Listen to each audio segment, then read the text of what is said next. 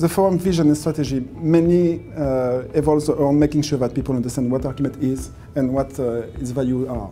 So this means that we really want people to understand uh, those values, how to use ArchiMate in their context. So the strategy is, is to make sure that we have enough documentation and guidance uh, to help people uh, using ArchiMate.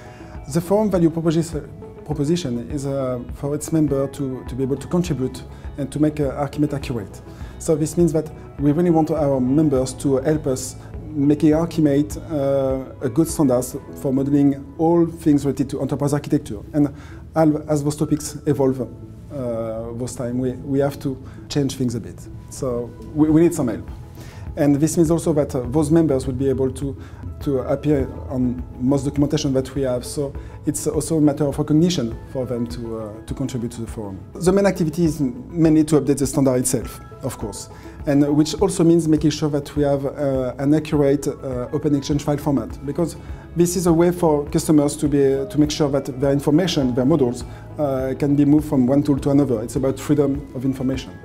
We also have lots of activities um, which are linked to some other forms uh, of the open group, like uh, making sure that we can align TOGAF and ArchiMate, we can use ArchiMate with IT4IT, and also uh, activities which are related to other standards like NATO or the BIAN on the financial industries. So at the end, it's all about making sure that we have uh, examples and guidance documentation around ArchiMate and other standards.